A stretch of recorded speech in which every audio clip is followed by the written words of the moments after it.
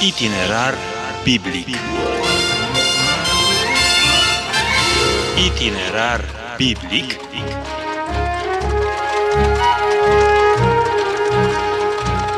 Itinerar biblic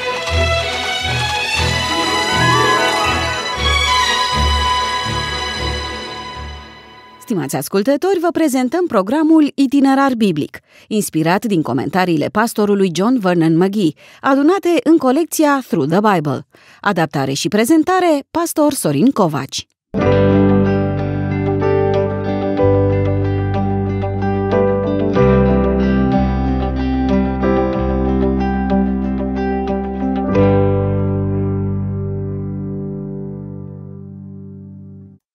Dragi ascultători, crucificarea Domnului Isus nu a intervenit ca urmare a faptului că deranja autoritățile prin ceea ce spunea sau făcea, și nici nu a murit pentru că circumstanțele au condus la acest lucru. El a murit pentru că a vrut să o facă și această vrere a venit din faptul că este singura posibilitate ca noi să fim izbăviți, împăcați cu Tatăl nostru din ceruri. Este unul din aspectele cu privire la care conștiința noastră trebuie să fie în permanență alertă, trează, pentru ca viața pe care o trăim să onoreze acest credit extraordinar oferit de Dumnezeu. El ne-a creditat cu atâta valoare încât viața Fiului Său a fost dată pentru noi. Este un preț pe care Dumnezeu l-a plătit pentru păcatul nostru. Este un lucru pe care noi trebuie să-l cunoaștem și să-l respectăm. Dumnezeu nu a ales pur și simplu să ne ierte, ci a și plătit pentru noi un preț al mântuirii noastre. Am rămas la capitolul 20 al Evangheliei după Luca, acolo unde, în Ierusalim fiind, autoritățile îl supun pe Domnul nostru la tot felul de teste pentru a găsi un motiv prin care să-l incrimineze. Ultima din încercările văzute de noi a fost cea cu privire la birul datorat cezarului. Domnul Isus răspunde, plin de înțelepciune, că omul are atât o datorie față de Dumnezeu, cât și una față de oficialități. Mai mult, Domnul nostru atrage atenția că între cele două datorii trebuie să fie un echilibru. Nu se poate ca Dumnezeu să fie privat de atenția noastră datorită obligațiilor sociale. De asemenea, nu putem să ne ascundem în spatele credinței noastre și să nu ne achităm de datoriile pe care le avem față de societatea în care trăim. Dar să mergem acum mai departe, pentru că, iată, Domnul Isus este provocat și din punct de vedere teologic. De la versetul 27 înainte.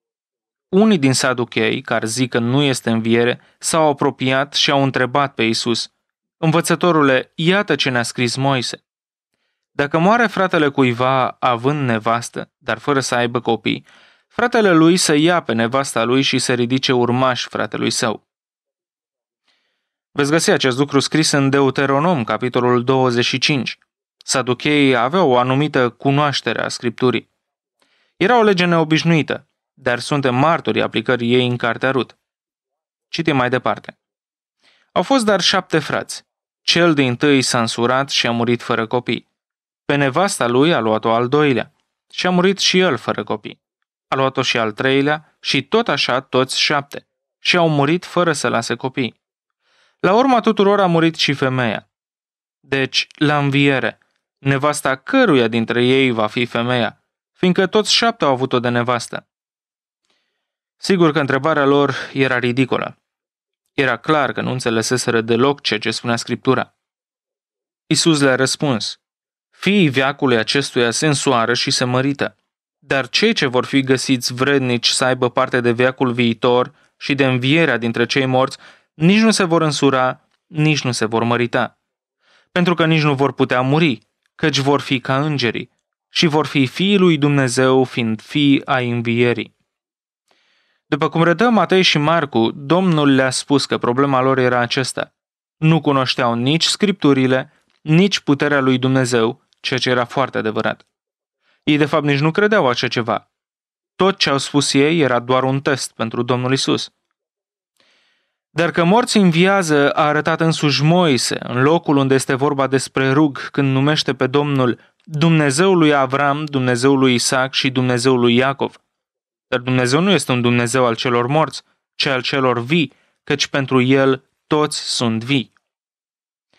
După ce Iisus le răspunde irodienilor și fariseilor cu înțelepciune, saducheii iată aduc înaintea lui acest vechi clișeu, cu gândul că oricine ar răspunde la această întrebare ar fi ridicol. Saducheii își găsesc corespondentul în secțiunea liberală a bisericii de astăzi, în timp ce farisei ar fi reprezentați de conservatori. Saducheii respingeau existența supranaturalului. Prin urmare, nu credeau în înviere. Întrebarea lor vine ca urmare a unei situații create de sistemul mozaic. Saducheii au încercat să facă din ea un lucru absurd, spunând că femeia se va mărita de șapte ori. Este puțin probabil să se întâmple cu adevărat așa ceva, dar nu este exclus. Avem și astăzi exemple de persoane care s-au căsătorit atât de des, dar acești oameni sunt mult mai preocupați de viața de aici decât de cea de dincolo. Ca sectă, saducheii au apărut în jurul anului 300 înainte de Hristos. Cei mai mulți mari preoți și politicieni de la templu erau saduchei. Erau persoane importante, oameni bogați. Nu este interesant faptul că astăzi cele mai multe biserici bogate și cei mai mulți politicieni ai bisericii sunt liberali. Aceasta ne arată că natura umană nu s-a schimbat prea mult de-a lungul secolelor. Saducheii negau existența minunilor. Cu toate acestea ocupau poziții religioase înalte. Ei au deposedat scriptura de supranatural. În această privință se aflau într-un conflict deschis cu fariseii care credeau în supranatural. Ei nu au acceptat niciodată caracterul infailibil al Scripturii și există o asemănare izbitoare între convingerile saducheilor și teologia liberală de astăzi. Liberalismul este distanțare de creștinismul istoric. Iată ce spune un cercetător al Scripturii, Dr. Berkoff, cu privire la conservatorism și liberalism. Citez. Diferența dintre ele este atât de mare încât unul din ele ar trebui să renunțe la termenul de creștin. Am încheiat citatul. Eu am ajuns la concluzia că aceia care susțin un creștinism diluat, liberal, nu sunt de fapt deloc creștini. Multe biserici ar trebui să-și ia nume de genul club religios sau asociația religioasă, pentru că membrii lor nu au de-a face cu creștinismul. Era o vreme când cei ce nu erau născuți din nou rămâneau în afara bisericii. Ei negau autoritatea Scripturii, divinitatea lui Hristos și supranaturalul. Erau numiți infideli și sceptici și de aceea biserica nu îi considera ca fiind membri ai ei. Saduchei au fost dușmanii cei mai mari ai lui Isus și au acționat ca principali instigatori ai primei persecuții a creștinilor. Farisei și saduchei au fost liderii în prigonirea Domnului Isus. După moartea lui, farisei au renunțat la această chestiune. Nu-i mai interesa să-l prigonească pe el sau pe ucenicii lui. De fapt, mulți dintre farisei au devenit creștini. Saducheii însă au continuat cu persecuția bisericii. Puteți citi mai multe în această privință în capitolele 3 și 4 din Faptele Apostolilor. Învierea a fost testul esențial pentru saduchei, așa cum este și pentru liberali. Ei nu cred într-o înviere literală. Este interesant faptul că nu există în scriptură nicio relatare care să ne-l înfățișeze pe vreun saducheu venind la Hristos pentru mântuire. Un fariseu pe nume Nicodim a fost mântuit iar în Faptele Apostolilor, capitolul 6, versetul 7, citim că o mare mulțime de preoți veneau la credință. Deci, farisei, mulți preoți au devenit credincioși, dar nu există nicio relatare similară privitoare la vreun saducheu. Cred că este experiența fiecărui predicator tânăr care descoperă că dacă predică despre cruce, îi va ofensa pe foarte mulți. El nu va fi ales niciodată cetățean de frunte al comunității, nici nu va fi invitat la recepțiile oficiale. Nu va avea o poziție politică bună, nici nu va apărea la televizor, poate. Ispita subtilă constă în a renunța la Evanghelia Domnului Isus Hristos pentru a deveni un predicator popular. Iuda l-a vândut pe Domnul. Petru s-a lepădat de el, dar l-a iubit și s-a întors la Domnul. Când un om îl vinde pe Isus pentru popularitate, nu se va mai întoarce la el. Poate un etiopian să-și schimbe pielea sau un pardor să-și schimbe petele? Întreabă profetul Ieremia. Data viitoare când auziți vreun optimist spunând că liberalii se întorc la Hristos, să aveți anumite îndoieli. Saducheii au fost cei mai mari dușmani ai Evangheliei lui Hristos de-a lungul tuturor acestor secole. Și ei luptă și astăzi împotriva lui. Ei luptă și astăzi împotriva lui prin scepticismul lor. Ei neagă puterea Domnului nostru, atât puterea de înviere, cât și puterea de mântuire. Domnul Isus încheie această secțiune de întrebări și răspunsuri printr-o întrebare pentru cărturari. Unii din cărturari au luat cuvântul și au zis, Învățătorule, bine ai zis. Și nu mai îndrăzneau să-i mai pună nicio întrebare. Isus le-a zis, Cum se zice că Hristosul este fiul lui David? Căci însuși David zice în cartea psalmilor, Domnul a zis Domnului meu, șez la dreapta mea până voi pune pe vrăjmașii tăi sub picioarele tale. Deci David îl numește Domn. Atunci cum este fiul lui? El a zis ucenicilor săi în auzul întregului norod. Păziți-vă de cărturari, cărora le place să se plimbe în haine lungi și să le facă lumea plecăciuni prin piețe. Ei umblă după scaunele din tâi în sinagogi și după locurile din tâi la ospețe. Și casele văduvelor le mănâncă în timp ce de ochii lumii fac rugăciuni lungi. De aceea vor lua o sândă mare. Aici, Domnul Isus îi învață pe cei prezenți despre propria naștere din fecioară. Cum a fost posibil ca David, și citează din Psalmul 110, unde vorbește despre un descendent de-a lui, îl numește pe stră, stră, stră nepotul lui Domnul său. El poate face acest lucru numai dacă era cu adevărat Domnul. Și el putea fi Domnul numai dacă era mai mult decât fiul lui David. Potrivit descendenței umane, într-adevăr, era fiul al lui David. Dar Isus trebuia să se nască din fecioară pentru a fi fiul lui Dumnezeu. Acesta este gândul important pe care ne-l împărtășește Domnul Isus aici. Observați de asemenea că Domnul Isus îi atribuie cu certitudine lui David psalmul 110. El spune că David a scris acest psalm prin Duhul Sfânt. Și tot Domnul Isus spune că acest psalm vorbește despre el, adică despre Mesia. Dragi prieteni, ceea ce am văzut noi nu este dovada unei imposibilități intelectuale de a crede în Mesia. Nu teologia împiedica pe acei oameni să creadă în Domnul Isus, nici măcar faptul că nu înțelegeau de unde venea puterea lui. Așa cum se întâmplă cu cei mai mulți dintre noi, problema este de ordin moral.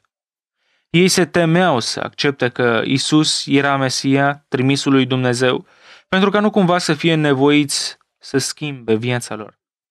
Nu credeți că aceasta este problema celor mai mulți oameni? Ei se tem că nu cumva, crezând în Domnul Isus Hristos ca Fiul al lui Dumnezeu, să fie nevoiți să schimbe ceva în viața lor. Dar ceea ce mulți uită este că într-o bună zi toți vor recunoaște că Domnul Isus a venit în această lume și este Fiul lui Dumnezeu. Schimbările se vor produce și vor fi nu pentru o zi, nu pentru câțiva ani, ci pentru o veșnicie. Dar, din păcate, nu pentru binele omului necredincios, ci pentru pedepsa lui veșnică. Să mergem acum mai departe, la următorul capitol, capitolul 21 din Evanghelia după Luca. Odată cu acesta am ajuns și la secțiunea profetică acestei Evanghelii.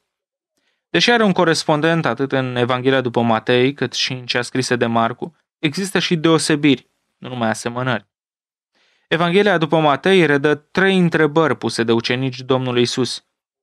Când se vor întâmpla aceste lucruri? Referindu-se la profeția Domnului Isus că nu va rămâne piatră peste piatră din Ierusalim. Apoi, care va fi semnul venirii Domnului? Și în cele din urmă, care vor fi semnele sfârșitului viacului? În capitolul care ne stă înainte, Domnul Isus răspunde la prima întrebare. Luca se ocupă de unul din aspectele cele mai practice ale profeției. Nu este niciun mister sau speculație cu privire la înțelesul celor spuse de el, pentru că, în cea mai mare parte, relatarea lui Luca nu mai este o profeție, este istorie. S-a împlinit în anul 70 după Hristos și, la urma urmei, profeția este matrița în care este turnată istoria. Și aici s-a turnat destul de mult. Capitolul 21 începe de fapt cu Domnul Isus privindu-i pe oamenii care vin să pună ceva în cutia pentru daruri a templului. Și aici o laudă pe văduva cea săracă. Isus și-a ridicat ochii și a văzut pe niște bogați care și aruncau darurile în visterie. A văzut și pe o văduvă săracă aruncând acolo doi bănuți și a zis, Adevărat vă spun că această văduvă săracă a aruncat mai mult decât toți ceilalți, căci toți aceștia au aruncat la daruri din prisosul lor, dar ea a aruncat din sărăcia ei tot ce avea ca să trăiască. În comparație cu bogăția templului, pentru că era un templu bogat, cei doi bănuți ai văduvei nu însemnau nimic. Darul ei nu avea o contribuție semnificativă la întreținerea templului. Numai că, vedeți, Domnul nu măsoară în acest fel darurile noastre. El măsoară nu după ceea ce dăm, ci după ceea ce păstrăm pentru noi. Noi nu trăim sub semnul zeciuielii, pentru că aceasta declară cât trebuie să dai. Ceea ce păstrăm pentru noi este de fapt oferit prin har. Mulți oameni ar trebui să dea Domnului mai mult decât a zecea parte din ce au, pentru că Domnul i-a binecuvântat nespus de mult. Cineva mi-a spus, dacă aș da numai 10% din bunurile mele pentru Domnul, aș avea sentimentul că fur de la el. Dumnezeu să uită așadar la sacrificiul celui care dă. În general, cel care nu poate da mult face un sacrificiu real. Dumnezeu se uită la ce păstrați pentru voi înșivă. Poate că duminica viitoare cineva va observa ce dăruiți și va spune Ia uite ce mult dă pentru lucrarea lui Dumnezeu. Dar ce spune Dumnezeu? Pentru că El nu se uită la ceea ce dați. El se uită la ceea ce păstrați pentru voi înșivă. Și cred că acesta este modul în care Domnul Isus spune problema aici, uitându-se la acea văduvă săracă. Nu era vorba despre cât de mult a oferit ea, ci despre cât a păstrat. Dar iată că acum se schimbă puțin cadrul discuțiilor. Pe când vorbeau unii despre templul, că era împodobit cu pietre frumoase și daruri, Isus a zis, vor veni zile când nu va rămâne aici piatră pe piatră care să nu fie dărâmată. Când Domnul a vorbit despre văduva săracă și a lăudat-o că a dat mai mult decât cei bogați, ucenicii au spus, privește la acest templu, la bogăția lui, la pietrele scumpe din construcția lui.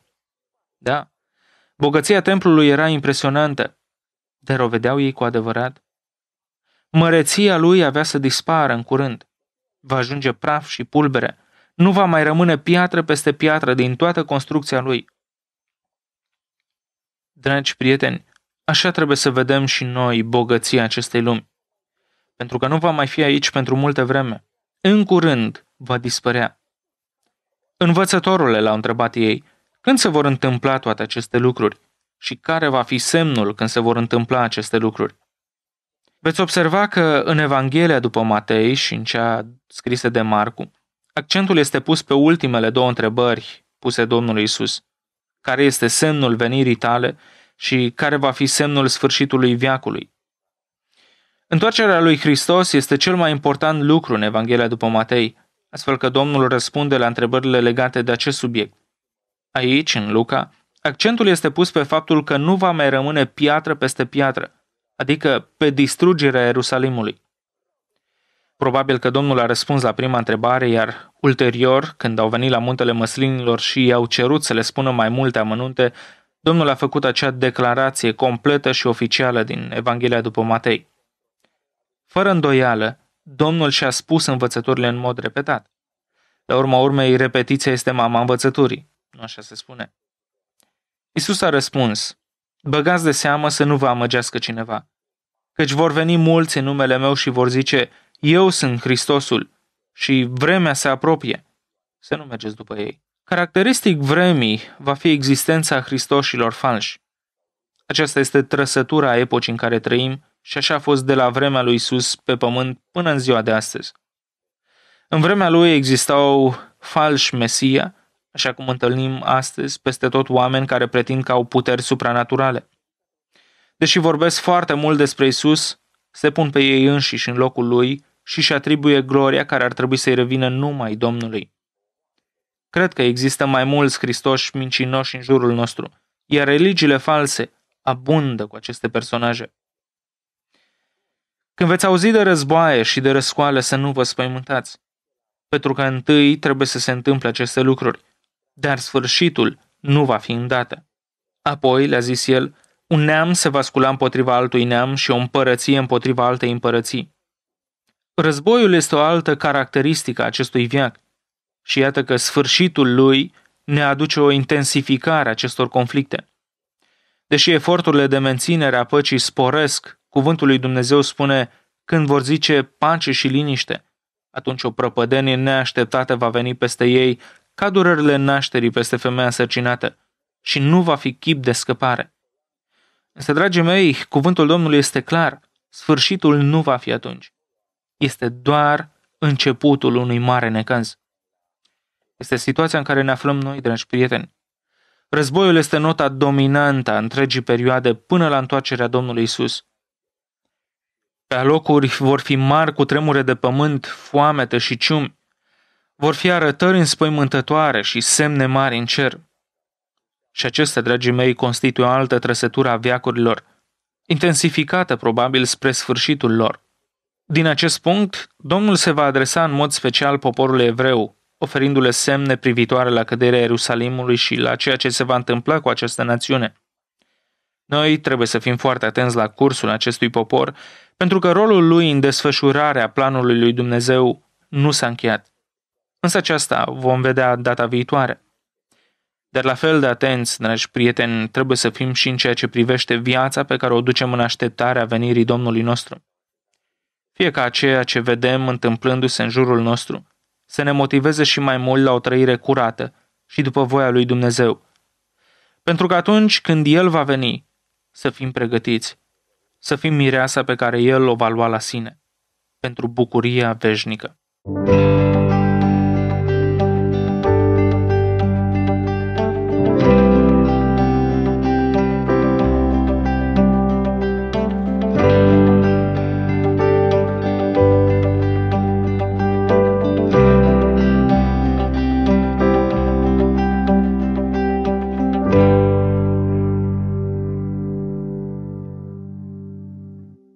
Aici se încheie episodul produs și pus la dispoziție de Transolt Radio România. Vă anunțăm că suntem interesați de efectele sale în viața dumneavoastră.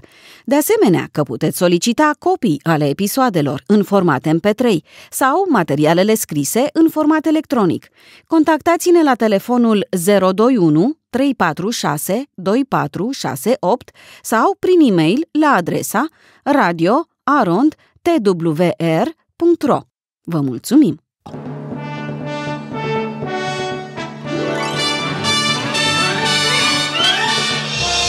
Itinerar biblic. Itinerar biblic.